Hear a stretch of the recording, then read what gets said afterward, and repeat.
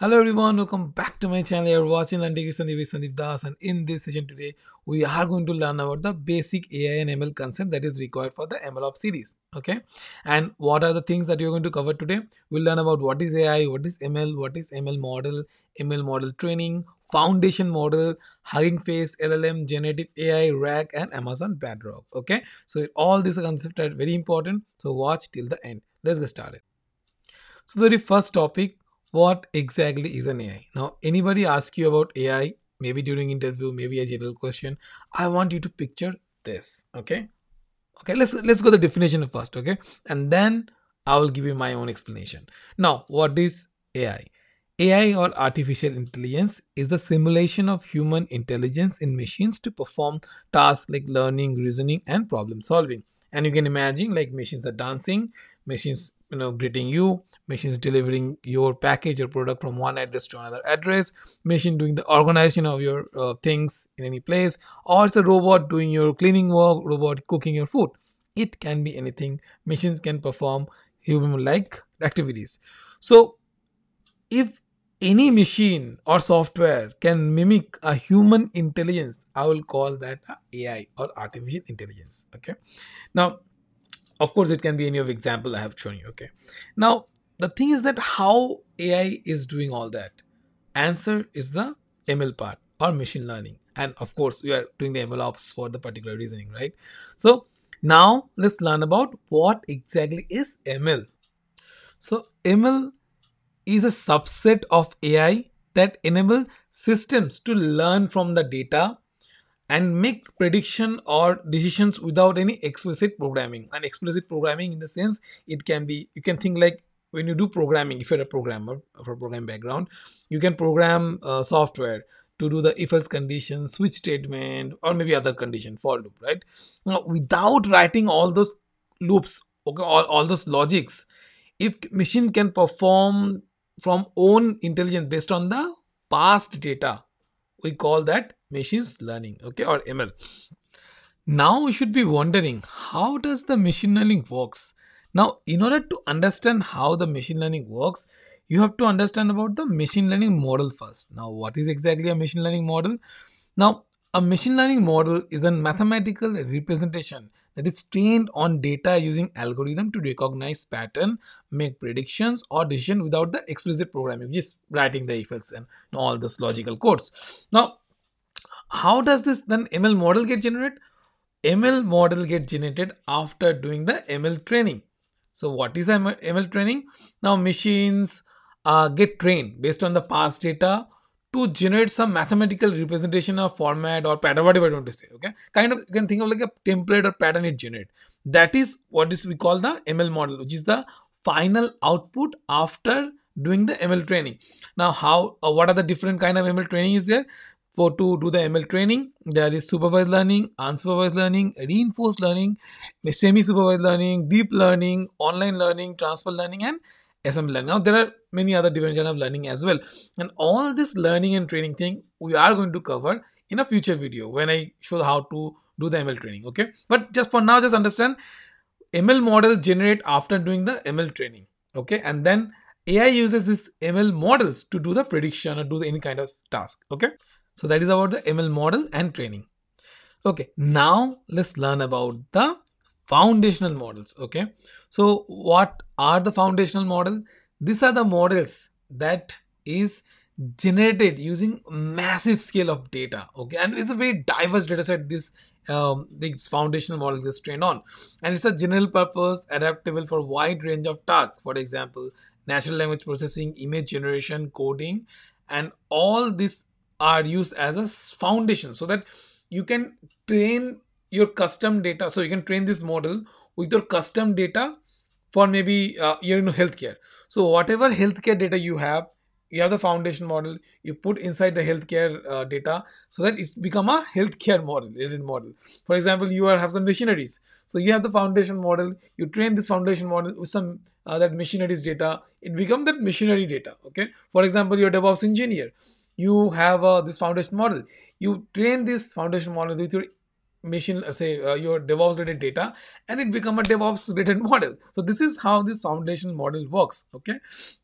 just remember the four points it it uh, you know pre-trained is on massive data set it is a general purpose it has general purpose capabilities uh, it is fine-tuned for custom use cases for example just the example i've given you and it's scalable and you can use the api access to enhance using say any cloud provider for example aws azure or google cloud okay now if you see uh, on top i've given good examples of this foundation model for example gpt-4 claude from anthropic uh, uh, llama from meta uh, command r from cohere uh, stable diffusion from stability AI, Gemini from the Google DeepMind. Okay, and of course there is a new boy in the gang that is called uh, DeepSeek R1, uh, which I will just talk right now. So we talked about the foundation model, but what are the most famous models? You can say that most famous starting right now from the DeepSeek R1, which is the high performance Chinese AI model optimized for reasoning and language tasks. By the way, you can use this DeepSeek R1 as a foundation model as well, and you can train the custom data. Okay, that's fine. Then there is Sonnet, a small but efficient LLM designed for resource constrained environment. When you have the less resources, then Meta's LLama, and which is the family of open weight AI model optimized for research and deployment. Then you have OpenAI's GPT, a state-of-art generative AI model powering ChatGPT, another application. Then there is um, Google Gemini, a multimodal AI model integration text, image and reasoning capabilities, BERT or in big it's called the bidirectional encoder representations from transformers a pre-trained nlp model by google designed for understanding context in language tasks widely used for search ranking qa and text classification. Then you have the mistral ai which is a state-of-art open weight model known for efficiency and performance. Then you have the claude from anthropic a conversational ai model focused on safety security and liability. And finally you have the Mosaic uh, mpt which is a scalable lm optimized for low latency interface okay? These are the famous ml models. Now right now the most famous is the deepseek r1 and the metas llama and openai gpt these are the most like top three okay? Now we learn about this uh, famous ml models right? Now let's about the very important thing that is the hugging face. Now what is the hugging face? Hugging face is a website okay? But it's, it's beyond a website so Hugging Face is the leading open source AI hub providing you pre-trained AI model datasets, developer tool for NLP, computer vision and beyond. It acts as a collaborative AI platform where researchers and developers can share fine-tuned model. Even if you, can uh, download this, you know, DeepSeek R1 model, any other you know open source model from the uh, Hugging Face, and you can run uh, different tasks on that. You can train this model as you know customize it. You can do whatever you want from the Hugging Face. It give you data, it give you uh, you know uh, tools, anything. Okay, everything. Now, just learn about the key features. Uh, it hosts thousands of open source AI models, for example, GPT, Llama, DeepSeek, Mistral, etc. Provide transformer library, uh, which is the you know uh, a widely used framework for NLP models. Then allow you easy fine tuning and deployment of model via the interface API. It support AI communities, enabling research and collaboration and development. Hugging Face is central to AI ecosystem, powering AI application across the research startup and enterprise deployment. So if you're planning planning to use open source model and all that, you should be using a Hugging Face. Okay, it's a site you can go, you can explore the site. Okay. Now let's learn about the very famous talk of the town that is LLM. Now, what is LLM? You might be wondering, right? Let me clear you that all the misunderstanding or all the doubts you have. First of all, it stands for large language models. Now, what are these large language models or LLM? Now, it's an advanced deep learning models trained on vast amount of text data to understand, generate, and process human language. Okay, and this model are based on uh, architecture like transformer. For example, GPT, BERT, LLama, and there is the latest one that is Deep uh, DeepSeek R1 as well. Now, how does this LLM work? Okay, now this first point. Okay, this LLMs or large language uh, machine learning models are trained on billions to trillions of word and diverse data set. For example, books, websites, article, anything and anything that is available. Okay, then tokenization. So text a big text is broken into smaller units or for example words or subwords called token for processing okay? And then self attention mechanism. So llms weight the importance of different words into sentence to understand the context. And finally contains billions of parameters. For example gpt-3 has 175 billion parameters. It's huge okay? That's why they call large language models. Now it sounds great but it has the limitations as well. So what are the limitations? Hallucinations which is the very most common thing uh, between all the ml models. Now which is uh, it might generate uh, plausible sound like incorrect or fabricated content okay? So you have to be aware of that bias. Sometimes these ml models reflect biases um, it may be because of the trained data. For example if you ask the, ask the uh, deepseek r1 about the india arunachal pradesh it will not give you any answer okay? Um, so similar kind of these biases will be there okay? Maybe it's political bias it will be cultural bias it will be gender bias okay? Computational cost. Now especially the OpenAI GPT models and Llama's huge computation power requires. Okay, now this latest uh, DeepSeek R1, which doesn't require that much of the computing power. So there are different models, uh, different LMs, but most of the LLMs required very huge computational power, which results a huge computational cost. Now ethics. Now there are of course uh, many um, negative use cases of this LLM, for example, this deepfake, for example, is a very bad use case happening these days, right? Like it can copy your face and it can do other things, stuff which you might not like, uh, people think it might be you. Okay, that's the ethics issue. Now the context window. Now since this has a limited memory of earlier text, it might be a problem in long conversation. Now with the latest implementation of, for example, GPT 4, 5 in DeepMind, DeepSeek also R1, it's much improved anyway okay? So this is about the llm okay now that you have understood what is llm let's jump into generative ai now you have heard this generative ai word many many many times. Now let me clarify you what is exactly a generative ai now what is generative ai generative ai refers to artificial intelligence model that can generate new content okay? For example new text images code music video etc that might not exist in the past data. Based on of course based on the learned patterns from the large data set unlike traditional ai which mainly classifies or predict generative AI creates the new output. For example, uh, you know, Chat GPT can write uh, article or can generate new image uh, using for, using their ML model for you, right? Uh, like similarly, GitHub Copilot can generate new code based on your past code pattern. Okay, so these are the generative AI. It can generate new content based on the past data. So it's, it's something generating something new. That's why it's called generative AI.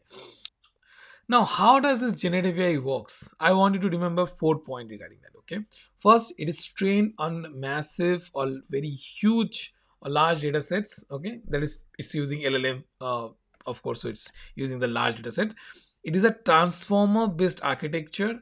It is prompt based generation. So based on your input, it will generate new content and you can optimize or it, is, it can be optimized for specific tasks. For example for devops automation cyber security for video generation whatever the use case you can customize it further okay? And what are the key models in this generative ai for example there are different LMs available or large language models. For example gpt llama falcon and for image generator, there is DALL-E, Midjourney, Stable Diffusion. For audio and music generation, there is OpenAI Jukebox or Google's uh, Music LM. For video generation, there is Runway uh, ML and Sora. Okay, so this is the generative AI. Now, while talking about generative AI, I want you to know about a certain thing that's called the RAG or Retrieval Augmented Generation. Now, uh, what is this RAG? Before going to all this, you know, uh, kind of uh, going to definition all that you can think of simply it's a uh, it's used to uh, fill that knowledge gap because a AI model can generate one month back, two month back, or one year back. Now, from that time of generated model to current date, it might be one month difference, two month difference, or ten months difference. You don't know. Now we have to fill that knowledge gap. Okay, uh, and how we can do that? We can do that using this RAG. Now let's understand this uh, particular uh, you know definition and how it works then it, it will become much more clear so retrieval augmented generation rag is an ai technique that enhances the responses of large language models or LLMs by retrieving relevant external data before generating the answer. It helps overcome the knowledge cutoffs, hallucinations, and limited context windows. Now, just just uh, you know refer to this particular uh, diagram where you can see the user is asking a prompt then the query is not sent to model directly it's sent to a uh, search retrieval information it will it might have some articles some blogs some db anyway it will fetch the latest data related to the keyword that user um, you know, asked or prompted and then it will supply that to the llm llm have the past data it will get the new data based on the search query and then it will generate the new response okay?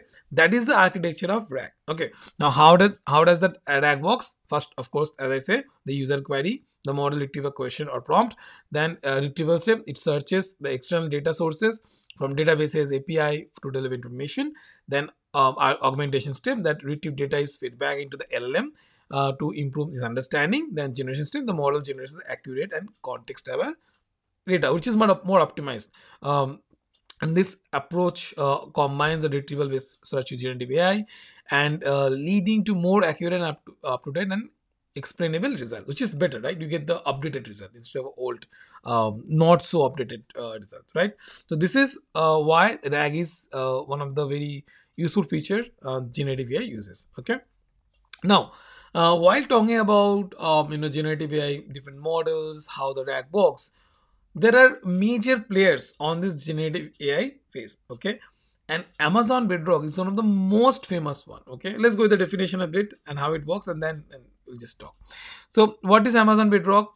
Amazon Bedrock is a fully managed service by AWS that allow user to build, scale generative AI application using foundational models. And you already know by now what is foundation model is. Okay.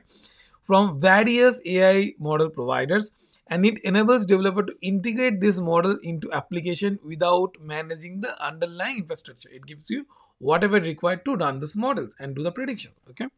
So why to use the amazon uh, bedrock? Access to multiple foundation models. It's like amazon uh, bedrock support model from amazon anthropic cohere meta stability ai mistral ai and others. For example this uh, deepseek's uh, r1 also you can import as a custom model okay? And um, like customiz- uh, customization with uh, fine tuning and RAG. It support the fine tuning and you can use the RAG for you know updating doing the, the knowledge cut of issue you can fix with the rag as well. And it to support that okay? And also one of the very most important thing i'll say that it support the tight integration with other aws services. For example you can quickly or easily fetch the data from the aws s3 or which is for the data storage. You can use lambda for you know execution. Um, you can use the sagemaker for ai ml workflows. You can use the Amazon Kendra for AI powered search. You can use Amazon DynamoDB or RDS for structural data storage. You can do all the stuff uh, if you you know use the Amazon Bedrock because it has a very tight integration among the other AWS services. Whew, we covered a lot of lot of things, right? Now, um, after this, uh, what you're going to learn we are the next video is going to be about the data extraction and preparation because we learn about the what is ai we learn about what is ml we learn about what is ml model how, i mean what are the different ways you can train the ml model what is the foundational model what is uh, llm or large language model what is um, generative ai what is rag and even we covered the what is um, amazon bedrock. So now start actually you are starting the data collection part which is the data extraction and preparation before we do the model training because the next video going to be on the data extraction and preparation. After that we're going to do the ml training because if you see the pipeline first is the data extraction data validation data preparation then ml model uh, uh, training then model execution and model validation okay? We'll go with the flow. Then next day we are going to cover the data extraction validation and data preparation. Hope you like the today's basic intersection which is to introduce you to different ai concept because those are absolutely required in order to excel in the MLOps series okay? Hope you like it. If you like it please do like the video and share it with others and wait for the next video bye bye see you soon in the next video